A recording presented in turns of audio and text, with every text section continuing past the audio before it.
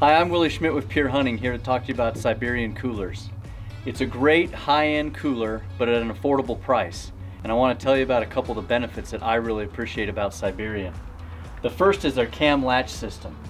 It's very easy to open and close. Just flip it up. There's no stretching and pulling that you need to do and a risk of pinching.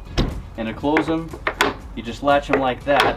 Very easy, low risk of pinching, and they work great in cold, cold weather. You don't have to worry about stretching that rubber.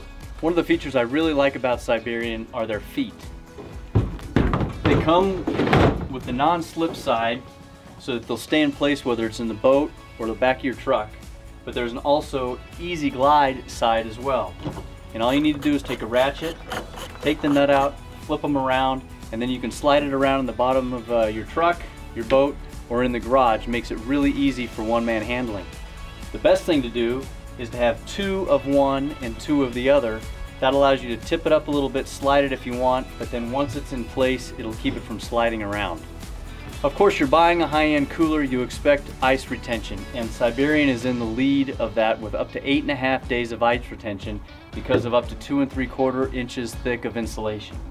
Not to mention this cool granite color. Couple other features about the Siberian coolers. When you buy the Alpha Pro Series, each cooler comes with a tray that can keep your uh, food and dry items away from the ice, as well as a divider and a cutting board. It's really slick. You can keep ice on one side, keep your other products here. Siberian coolers have a very sleek design. Everything is within the sidewall, so when you put it up against your truck, you're not having anything that's gonna stick out.